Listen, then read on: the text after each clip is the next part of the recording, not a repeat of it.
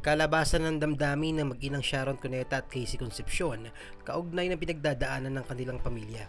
Sa pamamagitan ng Instagram ngayong araw, September 14, 2023, ipinromote ng megastar ang upcoming international independent film ni Casey na Asian Persuasion na nasisimulang ipalabas sa US sa mga susunod na araw. Dumating na si Casey sa New York para sa promotion at special screening doon ng kanyang pelikula.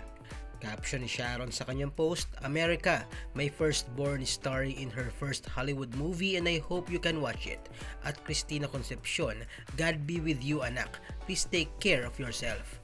Halatang naantig si Casey at nagkomento, Like I always tell you mama, though I'm not perfect, everything I do is for you. Sumagot si Sharon, hangad daw niyang makapag-usap sila ni Casey.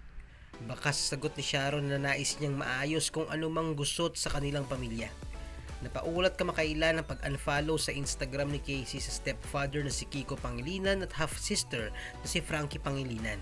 Si Kiko ang second husband ni Sharon, anak nila sina Frankie, Miel at Miguel.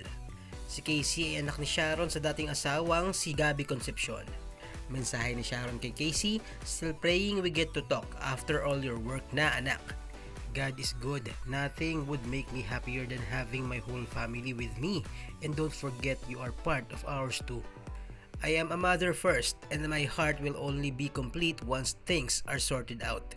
Mababakas naman sa komento ni Sharon ang posibleng isa sa isyong pinagdaanan ng kanilang pamilya.